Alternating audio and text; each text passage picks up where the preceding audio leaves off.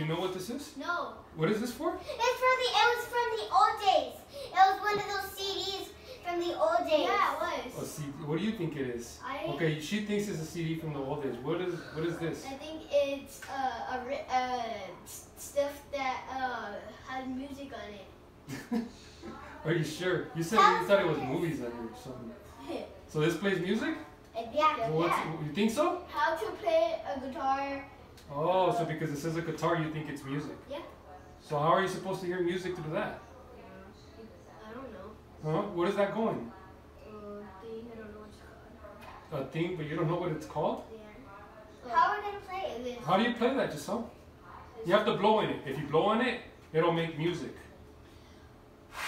But you have to spin the little circles in the middle. Oh my god. No, no, with your with your mouth, and you just gotta hear the music. You hear the music? Oh my god!